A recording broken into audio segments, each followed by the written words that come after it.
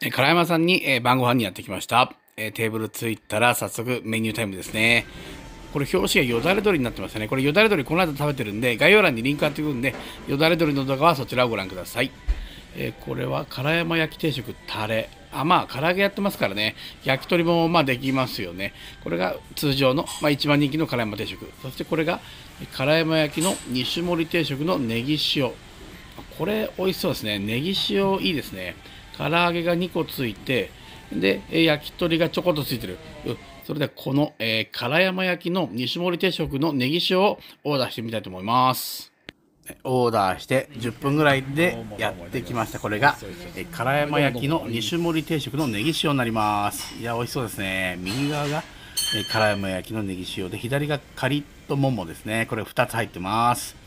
さてルーティンの七味パラパラやりましょうかねえー、マヨネーズにも七味パラパラやってそれでは、えー、いただきます。おと思ったら、えー、サイドで頼んだ軟骨揚げが来ました。これがまたねカリッとしてゴリッとして美味しいんですよね、え軟骨揚げを、えー、ここにセットしてそれではいただきます。あそうそう、えー、おしんここれ無料のおしんこはもちろんご飯にセッティング済みです。それでは、えー、いただきます。まずはこのカリッとももからいただきます。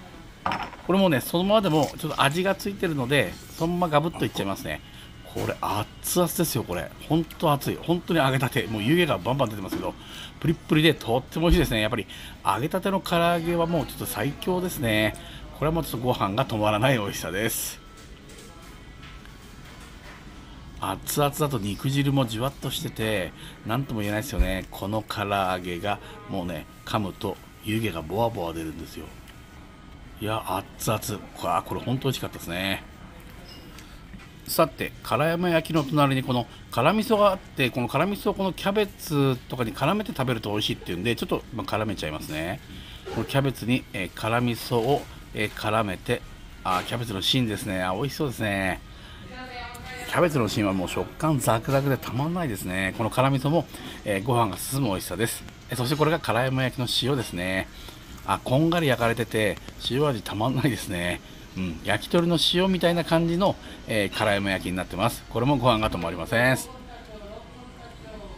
まあ、ネギの風味も香ばしくてあとカリッと焼かれてるんで鶏の風味も香ばしいですよね、まあ、塩がとってもよく合う、えー、辛山焼きです。揚げたて熱々のカリッとももとそれと辛山焼きの塩。